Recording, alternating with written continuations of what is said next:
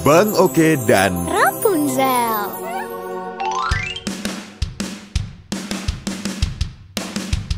Wah, jadi ini hotel istana kerajaan Rapunzel yang terkenal itu. Tapi Pintu masuknya pintu di mana? masuknya di mana ya? Hmm, dicari ke mana-mana tetap nggak ada. Guys, mohon perhatiannya ya. Eh? Datang di Istana Rapunzel. Aku akan mengangkat kalian ke atas ini dengan nyaman ya. Oh, keren. Wah, wadaw, abang juga. Ah, tunggu dulu, abang belum siap. Loh, tapi kok enak. Ah, mana harum pentin. Wah, senangnya abang berasa main kora-kora. Oh, seru banget. Makasih sudah naikin kami ke atas. Di sini. Ah, sama-sama. Sudah jadi tugasku kok.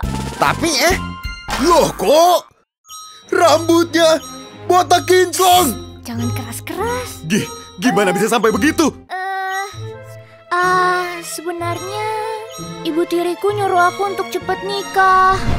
Anak gadis, bukannya cari suami biar aku bisa bebas sama bapak kamu. Karena sampai sekarang aku belum punya pacar. Jadinya aku stres karena ibu tiriku ngomel terus. Jadi rambutnya Ya ampun, masih gadis tapi sudah botak. Kasihan banget, pasti sering diledekin.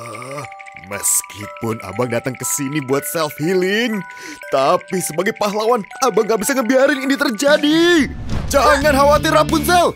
Jurus rahasia bang, oke. Oke, oke, ramuan penumbuh rambut Wakdoy, oke. Oh, apa ini? Tumbuhlah rambut-rambut. Hah, hah, hah. Wadaw. Astaga! Ram, rambut Rapunzel tumbuh lagi. Rapunzel jadi glowing lagi.